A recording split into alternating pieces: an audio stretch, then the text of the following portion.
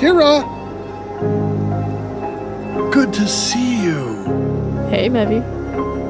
I didn't expect you to visit me this late. What a wonderful surprise. How was your day? I really hope you didn't have to walk all the way through this heavy rain we had. What unpleasant weather. I went to the market. Ooh. Have you found something beautiful today? Actually, yes. Festivities offer great opportunities to find some things. There were so many police drones and everyone was suspicious. I hope Mrs. Demir will be happy with the groceries. Maybe the people just need this time of the year to forget all the bad days. There are definitely enough of them. But then, this. Hopefully I can now finally fix this old hard drive. Kira, tell me, what do you have for me? Oh, yes. Here, I hope you like it.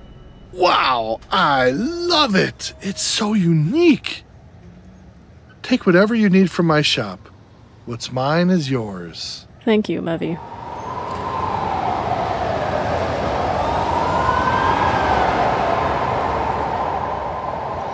Don't worry, Kira. You know how it is. A rich person dies and everyone loses their mind. But they don't care for us. We're nobodies to them. We're too small in this big world. Stay safe, my dear Kira.